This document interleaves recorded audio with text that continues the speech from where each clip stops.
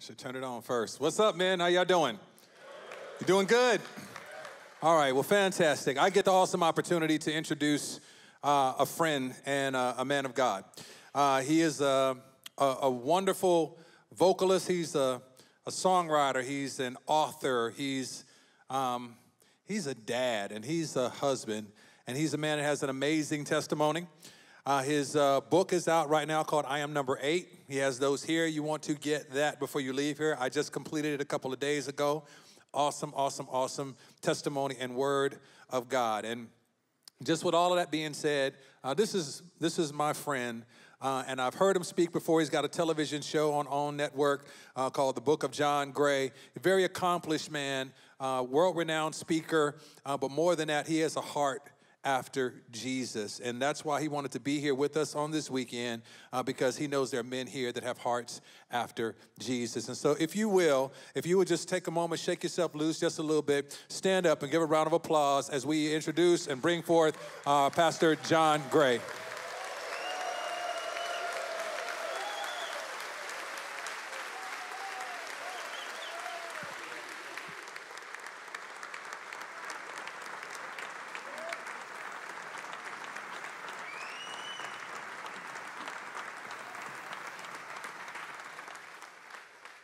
Fellas, how you doing? It is an honor to uh, be here at Victory, and uh, I'm grateful that I'm still saved after coming 85 north. Uh, I don't know how many words I wanted to say that did not reflect biblical scripture. You got to be real saved to live in Atlanta and drive in traffic, people cutting you off. You, son of God, bless your Bless your heart. Shout out to that man who was just uh, doing comedy because I hope you have your resume ready he will not be back. No, I'm playing. you are fired. Now, he was funny. Give it up for our brother. He did a great job. Phenomenal, brother. Um, if you'll do me a favor and just lock elbows with the brother next to you, elbows, not hold hands. We grown men, we not holding no hands. Like, did you want to interconnect? No. What's wrong with you?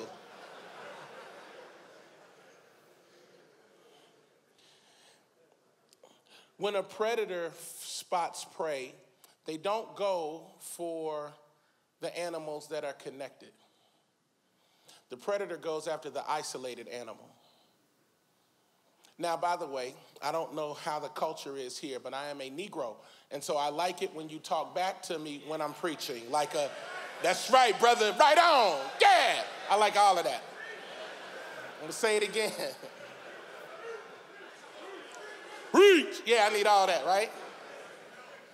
I'm up here looking like an upside down pyramid with my tiny shirt on. I'm big up here, little in the legs, just look like a fidget spinner. Just, just in here, just. The enemy wants to figure out how to take you out because his job is to steal, kill, and destroy. It's his mission. He hates you. And maybe you didn't know why, but every time he sees you, he's reminded of what he used to have. The level of relationship that he used to enjoy is now enjoyed by the sons of God. See, Romans 8, 18 and 19 says, For I consider that the sufferings of this present age are not worthy to be compared with the glory that shall be revealed in us. For the earnest expectation of the creation eagerly awaits the revealing of the sons of God. And when you are a son of God, when you know who you are in your identity, the enemy hates that because you have a direct connection to your father. When that veil was torn from top to bottom when Jesus died, it gave us direct access to our heavenly father through the blood of Jesus Christ. And the Holy Spirit empowers us to be the men that will change society. There is nothing more necessary, valuable, or dangerous than a man of God who knows who he is.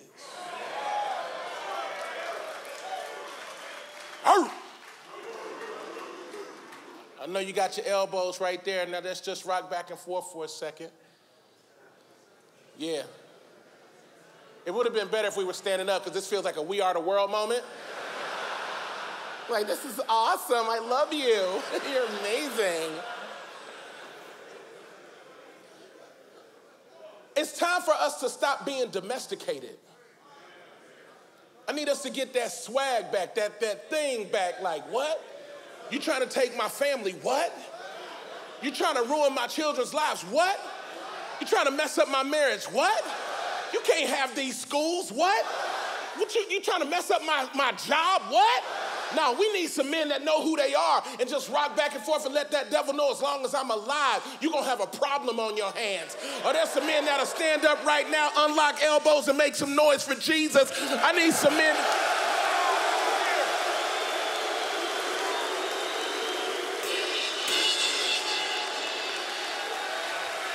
Let's go. In the chapel, let's go.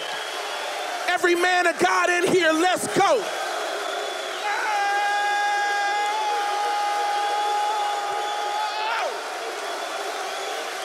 I will not go quietly into the night. I will not be silent.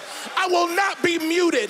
And I will not apologize for my love for Jesus Christ. Are there any men of God in this place?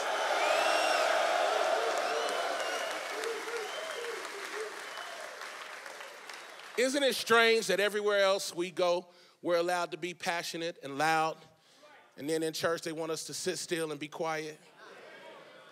Y'all got a new stadium out here for the Braves, and y'all about to have a Mercedes Benz dome for them dirty birds that should have won that game. I'm still mad. I don't like Tom Brady. My firstborn son was born in Atlanta. I found my wife in Atlanta. I lived in Atlanta. I ain't want to see them win. Pray for me. My point is this. When the Falcons score a touchdown, you could be sitting next to a perfect stranger. You'll jump up and down, high five that person, hug them. They might not even like you outside of that stadium, but y'all have something common in this product on the field. And y'all jumping up and down and got all this passion for a team that doesn't know you. Then you come to church and you quiet for the God that saved you. I need some men in here to make more noise for Jesus Christ than you ever did for the Falcons the Braves, the Thrashers, the Hawks. God, we love you tonight. We lift you up tonight. We give you glory tonight. We give you praise tonight. There is no God like our God. There is no king like our king. His name is Jesus Christ. Glory!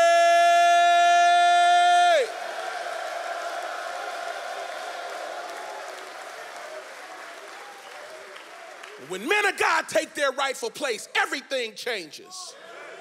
The household changes.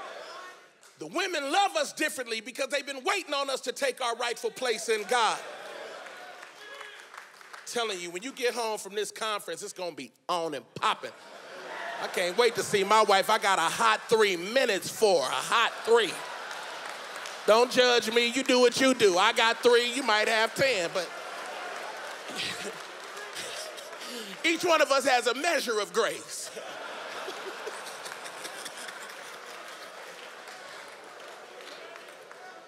Get home to your wife, just grab her by the shoulder. Girl, I love God. She be like, ooh, praise the Lord.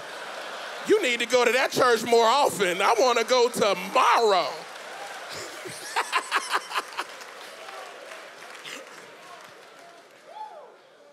Let me pray for you. Father, in the name of Jesus, I pray that you will allow this electric atmosphere to become explosive. Holy Spirit, do whatever you want over the time that we have allotted and be glorified in it. I thank you for every man from every family, from every walk of life. Thank you for Pastor Dennis and his wife, the leadership of this church that literally is pouring into what I think is the most underrepresented and malnourished aspect of the body of Christ. That's authentic Christian manhood. Thank you for this moment, momentum in Jesus' name. Amen. You give the Lord seven more seconds of praise. Seven, six, five, four, three, two. Glory!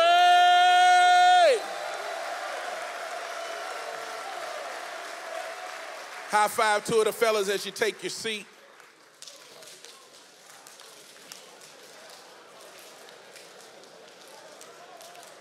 Montel, I'm gonna have you bless one of the fellas with this. This is my first book. It's called I Am Number Eight. Everybody say, I am number eight. This is about the life of David. He was the eighth son of Jesse. Nobody knew who he was. 1 Samuel 16, a prophet comes to his dad's house to look for a king. Jesse brings out seven sons. He was he he didn't even know who he had in his house. And the oil was trying to flow, and Samuel was like, Are all the young men here? Jesse was like, Well, there's the youngest, but you don't want him. Samuel said, Go get him. We will not sit down until he comes. I want to encourage every man in here that there is something that the earth needs you for, and people will not move until you get there. David was the eighth son. He was overlooked, he was undervalued, he was forgotten by men, but he was not forgotten by God. And his process in anonymous places prepared him for leadership for years to come. And this book is a parallel of his life and my life. And I just want to bless one of the fellas with this. Which one of y'all want this? It's available in the lobby. What you want to do, you'll find it.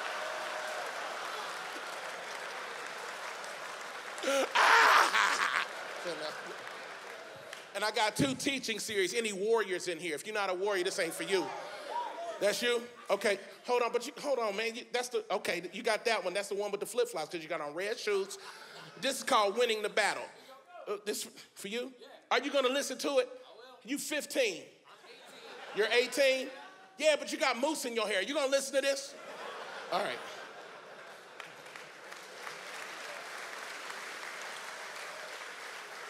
It would be a blessing if you all would consider stopping by. I'm gonna be out there. I would love to meet you.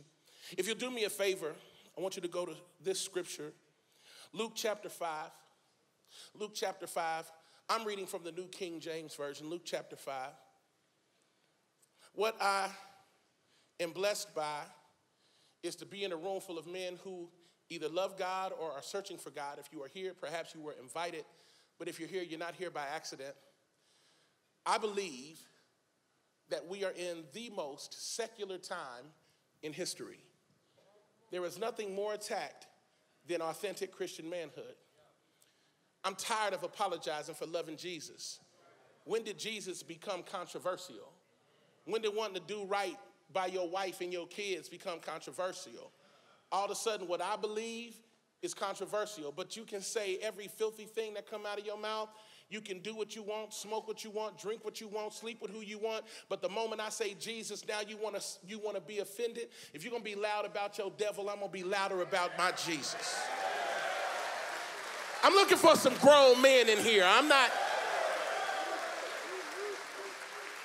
Maybe you didn't know, but they're trying to domesticate us. They're trying to neuter us. They're trying to cut our voice off. They're trying to cause us to be afraid. We got too many people pleasing Christians scared to let the world know they love Jesus because they don't want to ruffle feathers. Maybe you didn't read the word. You will be hated by all men for my sake. That's why we need real men to step up and say, Yeah, for God I live and for God I'll die. I'm not backing down from this word. When you talk about momentum, that means you gotta have some, you gotta, you gotta start slow, but then you start moving. And what we need is for men to wake up from the slumber of apathy and get out of their spiritual lazy boys and realize that our families are on the line and our sons and daughters are on the line and our communities are on the line. And we just can't sit back and say, it's not my responsibility. We need men that say, God, maybe you can use me. Maybe something you placed in me can be used for your glory. I got two amens, one hallelujah, and a guy saying that thing. He might be, he might be talking to me. Yes, I'm talking to you. If you're alive, God has a purpose for your life. This church is a miracle. I'm sitting in here and I walk in and I see black men worshiping next to white men, worshiping next to Hispanic men. I'm sure there's some Native American and some Colombian and some Mexican and Puerto Rican. And I'm, I'm sitting in here and I realize that this is offensive because this is Georgia. And still in Georgia, race is an issue just like it is everywhere else. So the fact that we have all of these men from different backgrounds worshiping Jesus, that is a miracle. We need to thank God and the church needs to get in front of all of this racial foolishness and let the world know that the only color that matters is red, and that's the blood of Jesus. Are there any men in here that are grateful that God has brought us all together?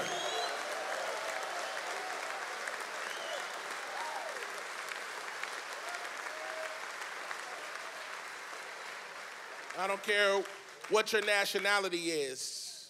The only color that matters is red, and that's the blood of Jesus. And if you got a problem with diversity, heaven is gonna be a real problem for you. Because we all gonna be up there. Because it won't be no black section of heaven, no white section of heaven, no Mexican section of heaven. It's gonna be one heaven, one king. His name is Jesus. He's who we will be worshiping. We will be in the presence of the Lord. Can I get an A? Amen. When it comes to events like this, momentum. I love that idea. But this whole weekend needs to be about reflection and then reignition for you and I. Because what I'm realizing is that the enemy does not take time off. I'm really trying to offend the devil every day I wake up. Like, I want my picture on hell's most wanted list. Any other fellas understand what I'm saying? Unless Jesus comes back, I know this body will pass away, but while I'm alive, I don't want the enemy to gain ground. Not in my city, not in my house, not with my children. But there are moments when I can't do it alone. And the hardest thing for men to be is vulnerable. Because many times in popular psychology, we align vulnerability with femininity, which is a lie of the enemy. Many of us don't have safe outlets to share our heart and our emotions and the things that we go through. Where do men go to bleed? Where do leaders go to bleed? We can't bleed in front of the sheep because a shepherd can't bleed in front of sheep because sheep don't do well with blood.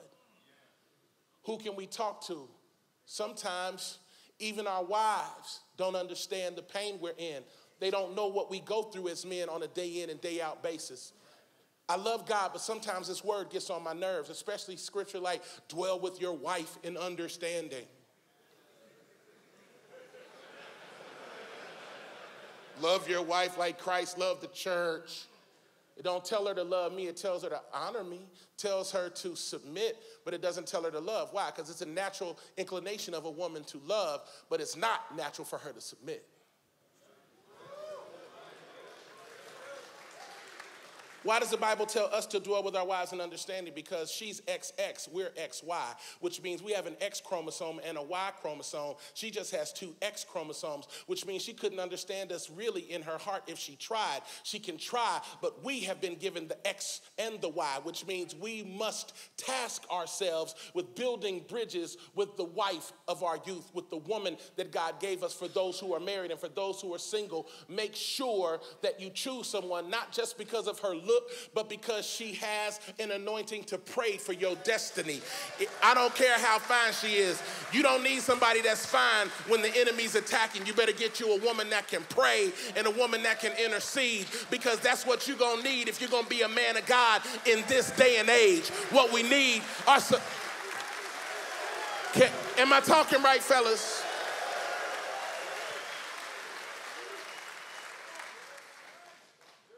We don't take enough time to build men. We always are beating each other up, and society pits us one against the other. I just want to take a few minutes to speak life to the men of God that have gathered here and those who may be watching and those who are in the chapel.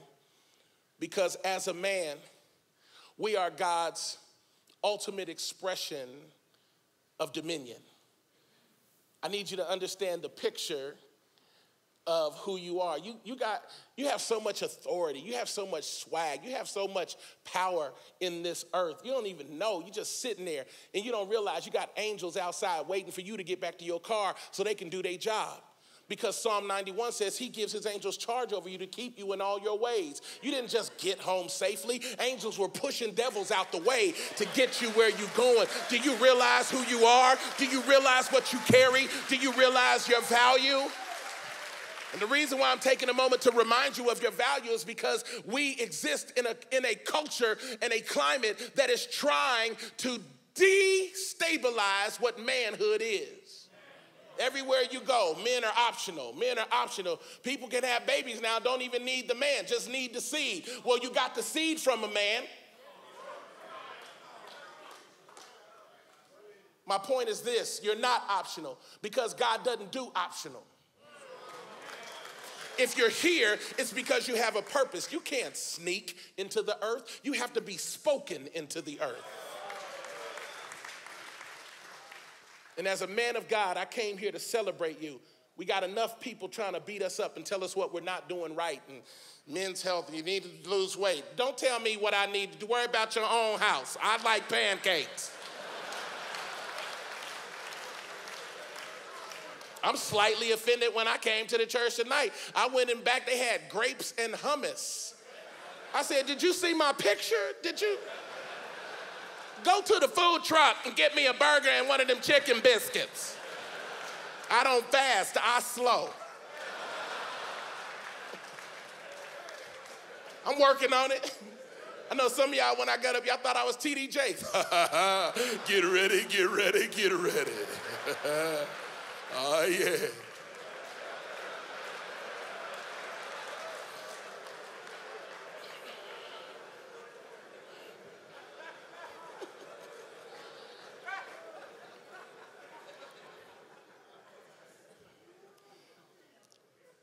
So in Genesis 1 and 1, before I go to Luke 5, I got to give you this because I want to encourage you. In Genesis 1 and 1, it says, In the beginning, God created the heavens and the earth, and the earth was without form and void, and darkness was over the face of the deep, and the Spirit of God hovered over the face of the waters. And God said, Let there be. So, the first time we are introduced to the voice of God, He speaks a solution to a problem. What he didn't say is it'd be great if I could get some blown glass and a filament with a metal conductor that I could plug into a wall and turn on a switch. That would be a lamp. He didn't ask for a lamp, he asked for a light. Because a light doesn't need a source, because God is your source. Then God goes for five days, starts showing off, and starts making things with his mouth. He was like, let's go ahead and get some water, get some sky, throw some stars up here. Let me get a sun going and a moon. Let me get some birds and some giraffes, some monkeys, some rhinoceroses, get some pterodactyls going. Starts making things for five days. He creates an entire world. And then on the sixth day, he says, Before I make this next thing, I need to have a conversation with myself. And he says, Let us make man in our image according to our likeness. And so, this is the first time we are introduced to the person of God in multiple facets the Father, the Son, and the Holy Spirit. And then it just gives a quick glimpse of John 1 and 1. Through him, all things were made that were made, and not one thing that was made was made without him, referencing Jesus. And so, in the very beginning, Jesus was there, the Holy Spirit was there, the Father was there. And he says, I've got a world, now I need somebody to run it. I know I'll make a version of me. I won't speak him, I'll make him. And so God picks up dirt,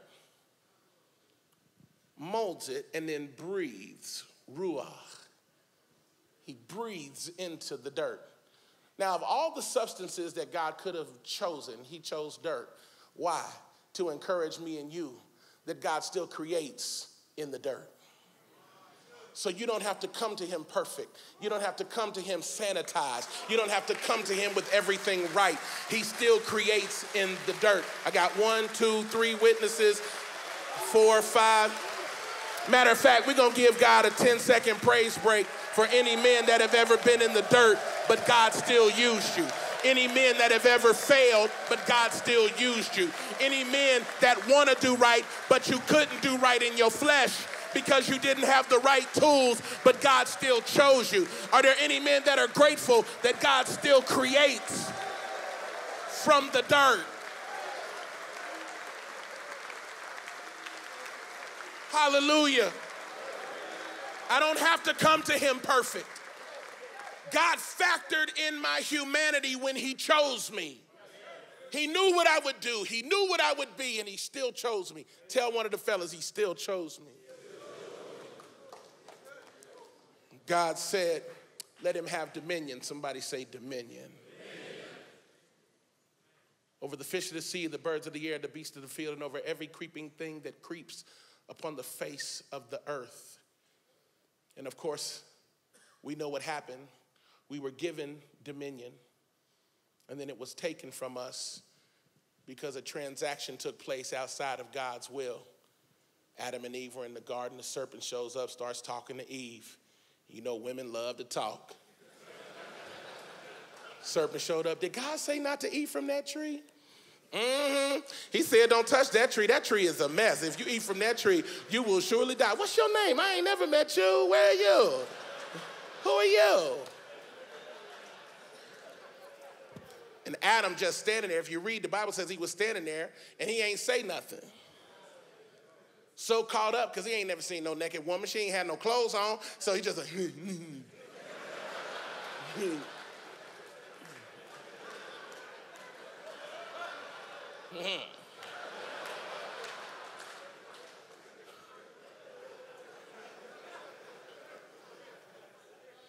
we lost dominion in the garden.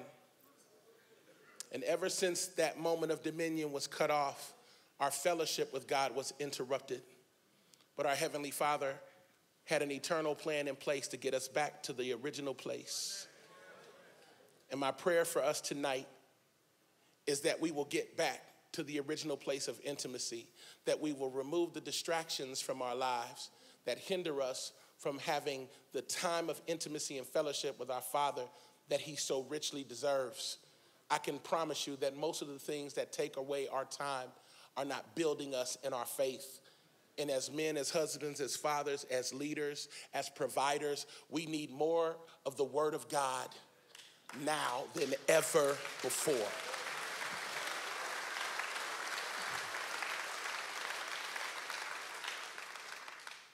But what do you do when you want to get to God?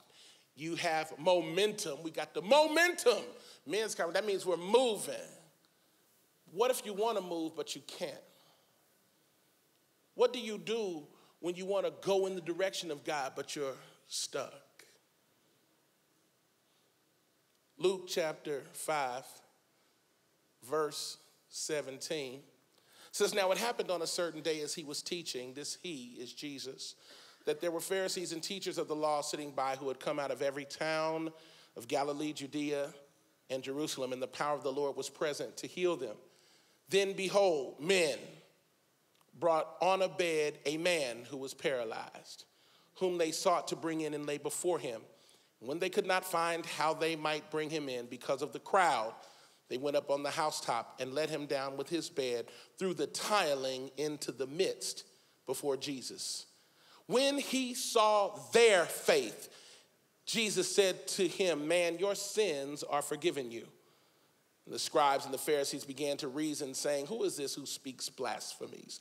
Who can forgive sins but God alone? But when Jesus perceived their thoughts, he answered and said to them, Why are you reasoning in your hearts? Which is easier to say, Your sins are forgiven, or rise up and walk? But that you know that the Son of Man has power on earth to forgive sins. He said to the man who was paralyzed, I say to you, arise, take up your bed, and go to your house. Immediately he rose up before them, took up what he had been lying on, and departed to his own house, glorifying God. And they were all amazed, and they glorified God and were filled with fear, saying, We have seen strange things today. What we need is a move of God. Uh, where's the men's pastor? You said something up here. You said, We don't need another church, we don't need another song. We need a move of God. Is that what you said? Yeah, a move of God requires some men because God is gonna move when the men get in position. If we're gonna ever have a move of God, we're gonna need some unapologetic Christian men because right now manhood is under attack. And I'm not just talking about male, I'm talking about manhood because maleness is biological, but manhood is responsible. Responsibility in saying, God, what is it you want me to do? This man was paralyzed and he needed a miracle, but he couldn't get it on his own. That's the power of this gathering. The title of my message for the next few moments that we are together is Somebody Get Me to Jesus. Somebody get me to Jesus. I want to thank God for this church that this is a real men's conference. Y'all got food trucks outside. Why? Because men like to eat. Y'all have baseball out there. Why? Because we like to play baseball. We like to shoot hoops. Did y'all have some video games out there too? Y'all have video games? For real? A simulator? Well, see, that's when you're in the suburbs. I don't know nothing about no simulator. I just, just give me, just give me some Nintendo, some Donkey Kong, some Pac-Man. Oh, if the church would wake up and stop trying to make us something other than what we are and speak to us where we are. You want more men in church? We need more stuff like this. I love my wife, but she always want to talk during the game. And I'd be like, babe, this is a holy moment. She'd be like, but I need to share my emotions. I need to talk to you. I need to share. I'm married to a black woman. I need to share with you. I need you to understand. I'm like, babe, this is holy. I got my chicken wings. I got my Mountain Dew. I'm watching the game. This is Bible because the Bible says he will mount up on wings as an eagle. This is Bible. Somebody give him glory. Man can't make it like that. Yo, kill a kid.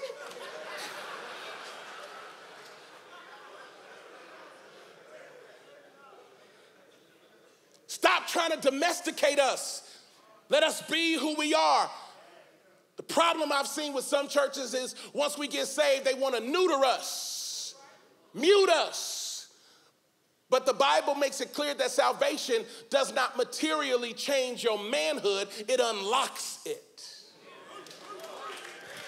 See, Jesus saves your soul, but the Holy Spirit sanctifies your personality, which means the gifts that have been hidden or maybe rooted in the flesh, now I can use it for God's glory. But I'm not changing who I am as a man. I still like football. I still like to eat wings. I still like to hang out with the fellas. I mean, maybe we should worship right now. We can worship before one o'clock and after four o'clock because that's when the game is on. I'm for real. Um, Somebody say, somebody get me to Jesus. I love moments like this because I don't have to be nothing. I can just be me. You know, I, this is Father's Day weekend, and I have mixed emotions about it because my mom and dad divorced when I was very young. I saw my father four times in my life. My mother had to be mom and dad, and I'm sure there are fellas in this room that can identify with that, or maybe you had a great relationship with your father. God bless that. Father's Day was never something for me to celebrate. It was a reminder of what I didn't have. When I looked up in the stands, when I was playing soccer, yes, I played soccer about three weeks. Um, I knew he wasn't there. When I graduated from high school, I knew he wasn't gonna be there. He promised he'd get me a car when I turned 16. Never saw it, never heard from him. And I don't know what demons he was battling. I'm not here to judge him because I know how the devil fights men. And he hits us with shame and he locks us up and he holds us hostage to the worst version of ourselves. And before you know it, even though you want to do right now, all of a sudden you stuck, paralyzed, like the man in this scripture. But thank God he was with the right people. I'm getting ready to preach.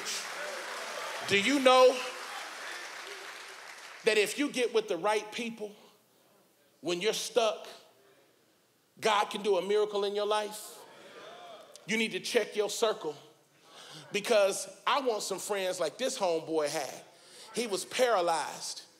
And I don't know what he did, but the Bible says when he got to Jesus, Jesus says, Man, your sins are forgiven. So whatever he was doing when he was with his boys is what got him caught up. That's how he got paralyzed. I don't know what party you went to where you get paralyzed. He was in there like, ah, ah hey, hey, ah, ah uh oh. Uh oh. I can't feel my legs. rest of the fellas, they were just over there like, wobble, baby, wobble, baby. What's wrong with, what's wrong with Leon? Get in there. He can get in there. I knew y'all wasn't saved over here. It's funny because it is Friday night. Sorry, I had to. I had to. Party's here on the north side, so I pick up a Coca Cola and I turn it up. Stop it, John.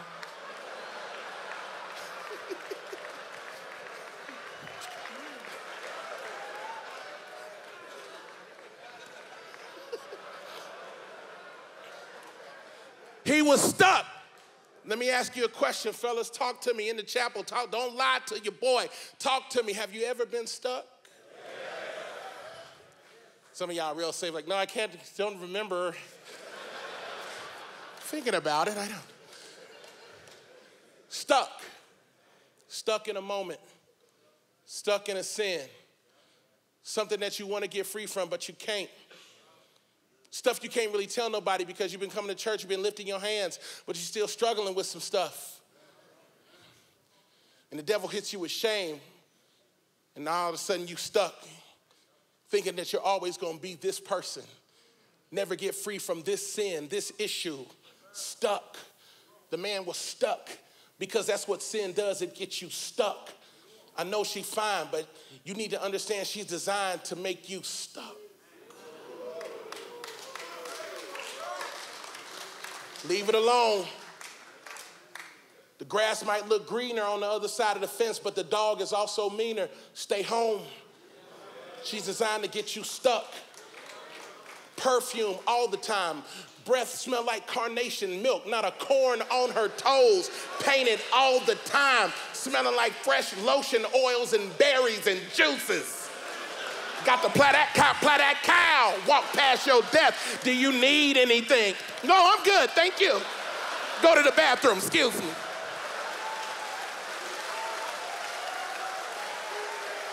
Can I get, can, can, will somebody give me some dap, please? If you know what I'm talking about. Boy, you 18, you don't know what I'm talking. Sit down, boy, you ain't even got no job. He's like, I know, I know, I I'm talking about some grown men. Let me tell you something, because they spotting you. They see that ring, they know you're about commitment. They're like, oh, I'm a getting. Isn't that funny? When you were single, she wouldn't look your way. Now she own you. Here's what's deep. Proverbs says that spirit, all who go down to her are strong men. She's looking for the strong ones. Trying to help somebody. You can't say amen because they taping. You're like, amen. Hallelujah. Glory to God.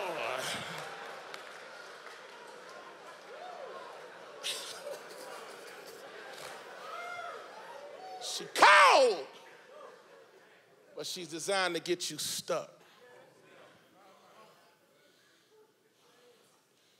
He was stuck, but he had the right friends. Montel, I'm grateful because when I get stuck, and I've been stuck, I knew who to call.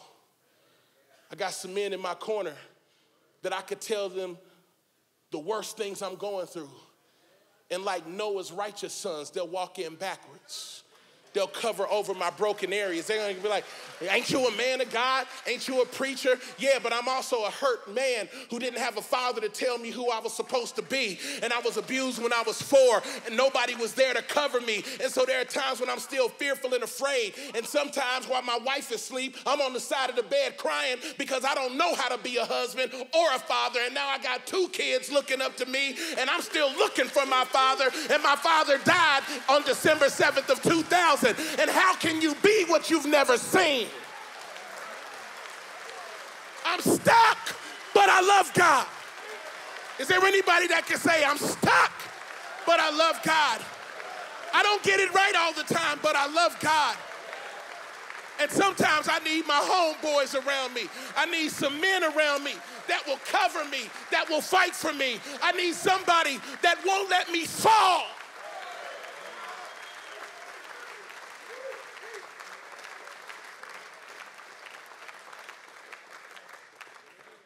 Have you ever been stuck? The Bible says he was stuck, but they, somebody say they, they. but they brought a man to Jesus. When I'm stuck, somebody get me to Jesus. Demarcus, stand up. Demarcus is one of my they.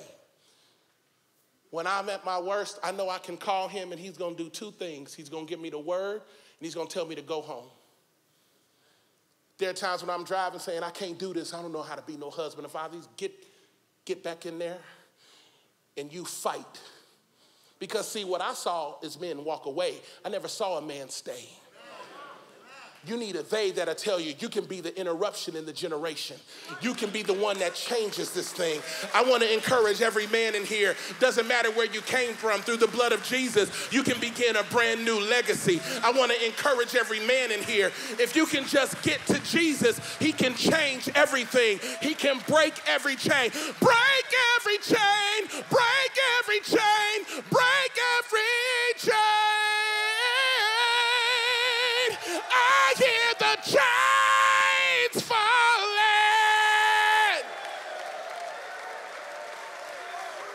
There is power in the name of Jesus.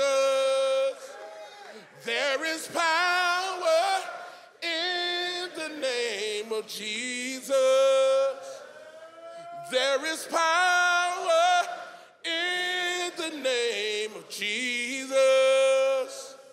to break every chain, break every chain, break every chain.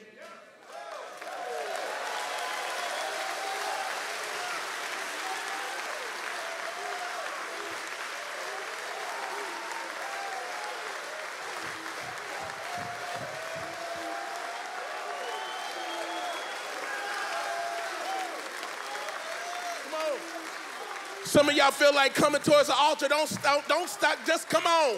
If you feel something breaking, just come on. Because every now and then you need to move. You've been stuck. It's time to get unstuck. The altar represents Jesus. Somebody get me to Jesus.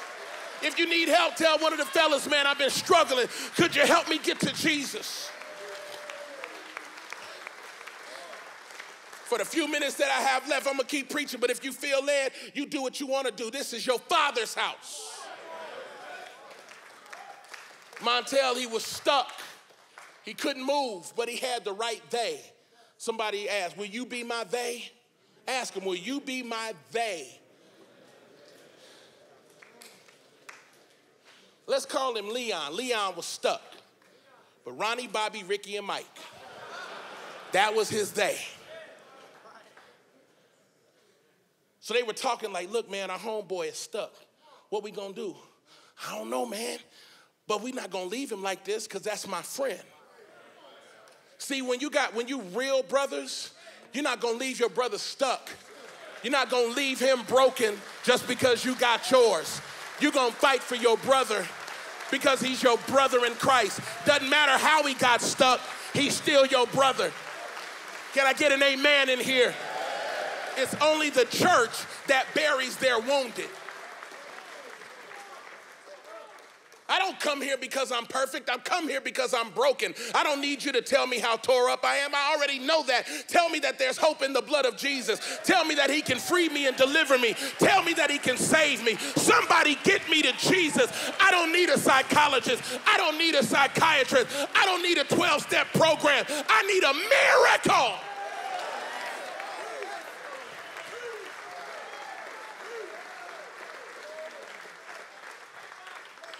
I'm sure your boy was stuck, the Bible says he got stuck because of sin. Sin causes you not even to reach out. You're so ashamed of what you did, you stop praying.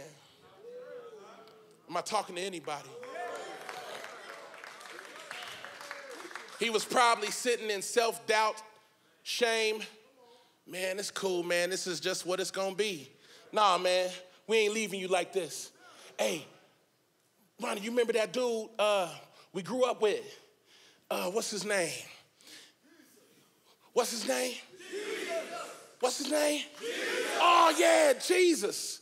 Yo, man, I heard he doing some crazy stuff. Maybe if we get our homeboy to him, maybe he could do something. You mean you talking about Jesus we grew up with? Mary, son? Yeah, man. Word? Listen, I'm telling you, the dude is crazy. You remember uh, Ron Tez with the gimpy hand? He stretched that boy out. Hey, you know Stevie, my shady ama. He opened his eyes. Oh, yeah, I do remember Jesus. That's that weird boy when we went swimming. He was walking on top of the pool. hey, if each one of us grab a corner, we can get him. I heard Jesus is down the street. Why don't we take him to Jesus? I'm sure the paralyzed man was feeling, man, it's cool. I don't want to be embarrassed. Man, shut up. You can't do nothing, no way. Just sit there. You just down there. Eh, eh. All right, pick him up. Careful, because even though he's paralyzed, we don't want to injure him further. Be careful with your brothers who are going through it. Don't beat them up because they're paralyzed. Be gentle with them. Step lightly so they know that they're loved, so they know that there's mercy, so they know that there's grace. If you've ever had grace wash over you, if you've ever been a recipient of grace, then maybe you need to praise God right about now. Hallelujah. Yes.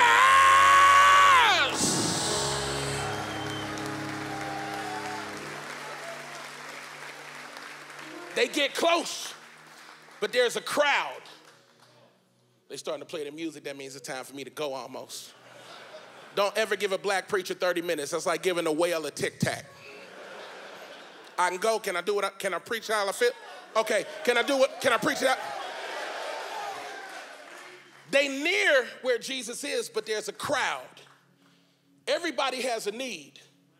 Excuse me, ma'am. I'm trying to get my homeboy to Jesus. He's stuck. She turned around and about, mm? Oh no, you need to stay in line. You stay in line. You you need a miracle. You we need to find another way. She need to stay in line. The Bible says they couldn't get near the window or the door. So they got a little hood. They decided to get out of the box and was like, yo, he's been stuck too long. We've come too far. Jesus is too close. I'm not gonna let a crowd stop me. I know we got a lot of men here, but don't let the crowd stop you from getting to Jesus. I feel God in here. They said, well, what we gonna do? We can't get through the door one of the crazy ones. You always need one crazy one in the group. You need one crazy one in the group. You need one that'll just turn up. You need one with a gun permit. You need one with a sword. Everybody need one ghetto friend. You need one like, guys, let's just talk it out. Then you need the other one like, he'll be all right. Gotta save him. Everybody say one. I'll tell you, you need one crazy one in the crew. You need one, you know, prayer warrior in the crew. Then you need a negotiator in the crew. Then you got the fourth one. He ain't got no teeth. He just like, whatever y'all want to do, man. I'm cool. I'm just, I'm just here, man. I'm like, I don't even care. The crazy one was like, man, it's hot out here. He on this bed, it stank. He paralyzed. Can't get through the door or the window. Oh, but word about that roof. What that roof looking like? Man, we can't tear this. Man, we gonna we gonna tear the roof off. Come on, let's go. Excuse us. You stay in line, ma'am. Stay right there. Jesus is inside teaching. What's funny is we don't hear about no other healings. They too busy just sitting there, but ain't nobody desperate. Only the desperate get the breakthrough. Are there any desperate worshipers? Are there any desperate men of God? Are there any men that say, Come hell or high water, I'm going after Jesus? Jesus.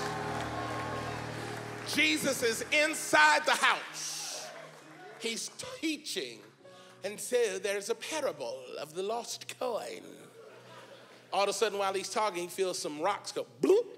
What meaneth this? Forthwith, how dost thou throw rockets in my bed? Then he keeps teaching. All of a sudden, some more rocks. Well, this is highly, highly irregular. As I was saying, there was a sheep and I'm a shepherd. Next thing you know, light breaks through. And the crazy one, hey, hey, Jesus, what up?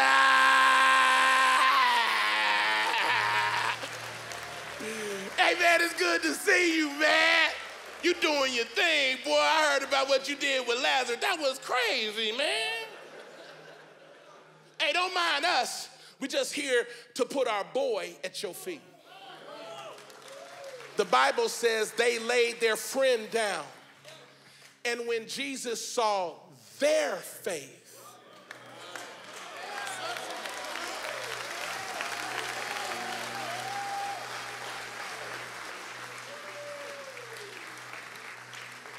Everybody needs a they because sometimes I don't have faith for the miracle. But if I got the right they, I can still get my miracle.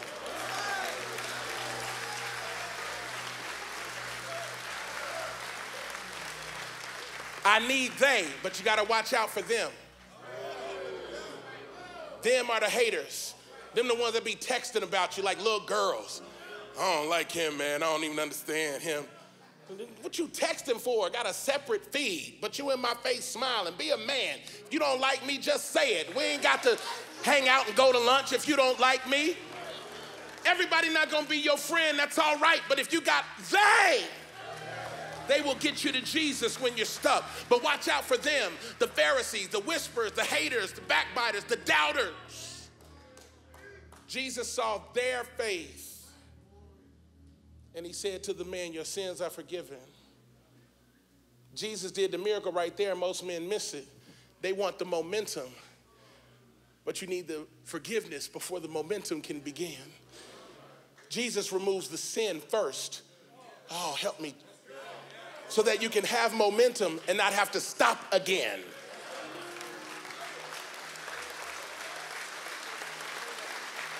Then he says this rise take up your bed, walk. Now, I don't know how long he had been paralyzed, but maybe his legs were weak. Maybe he was almost about to fall, but that's why you got they. Need a couple of they up here, real quick. Hurry. You got five seconds. I need four of them. That's right. I need they. That's it right there. See, because when my legs are wobbly, I need somebody to catch me if I'm about to fall. Because as men, it ain't just about you getting yours. It's about making sure that we stay with our brothers until they can get their legs up under them, until they can walk on their own. I need my they. Don't beat me up because I don't have strength in my legs. Stay with me until I can stand up. Stay with me till I'm a better husband. Stay with me till I'm a better father. Stay with me till I get free from the addiction. Stay with me until I get free from the broken heart. of a father that wasn't there. Stay with me till I heal from the abuse that happened when I was little. Stay with me. And if I'm about to fall, pick me up.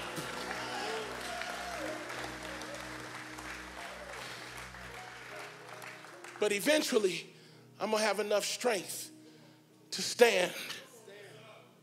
And I'll be able to take up my bed. Demarcus, why in the world would Jesus tell the man to take that dirty, Middle Eastern heat stench bed? Because he wanted everyone to see how far Jesus had brought him. Stop walking around here like God has never done anything for you. You need to tell the world what Jesus did. Tell him what you got free from. Tell God, tell somebody what God delivered you from. Stop acting like you always knew these gospel songs. Stop acting like you've been saved your whole life. Tell these young men out here that you struggle so they have hope. My time is up. But somebody get me to Jesus. Because there's power. There is power in the name of Jesus. There is power in the name of Jesus. Oh, there is power oh, Jesus. To do what? To break every chain, break every chain, break every chain. To break every chain, break every chain, break every chain. Let me pray for you as leadership comes. And if you feel led, get to this altar. As you are coming to the altar, that which had held you hostage and that which had held you paralyzed has to let you go. Because when you declare that the name of Jesus is above every name, that includes all of our addictions and all of our issues.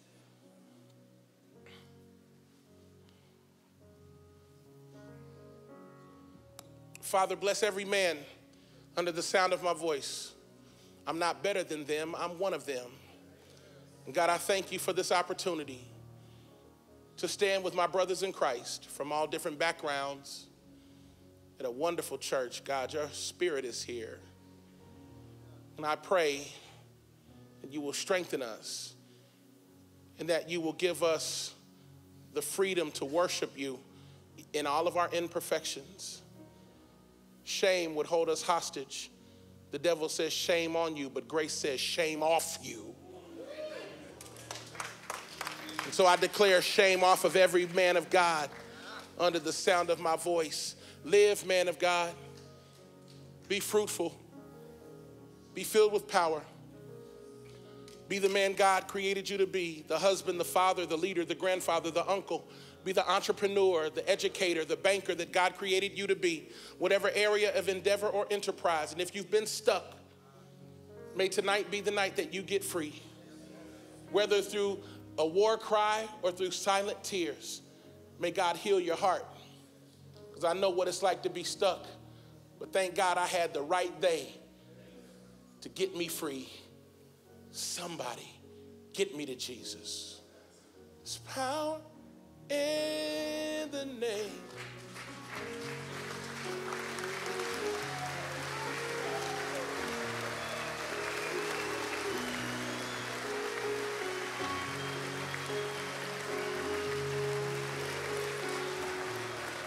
If we can get the band back up here.